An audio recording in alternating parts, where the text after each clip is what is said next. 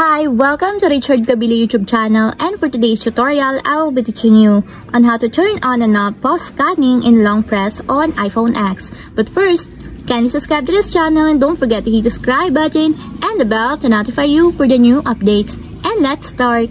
Using your iPhone X from your home screen first, go to settings. Then in the settings, scroll down and find the accessibility and then top.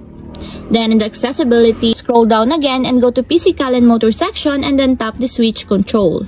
Then in this part, in the switch control, scroll down and go to timing section and then tap the long press. Then in this part, in the long press, find the pause scanning and as you will see, there's a switch button located on the side of it. Then all you have to do is just tap it to enable until it becomes green.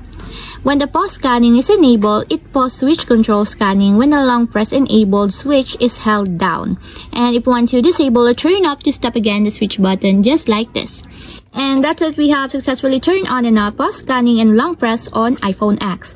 If you have a question, you comment down below and don't forget to hit the subscribe button and the bell to notify you for the new updates. And thank you for watching!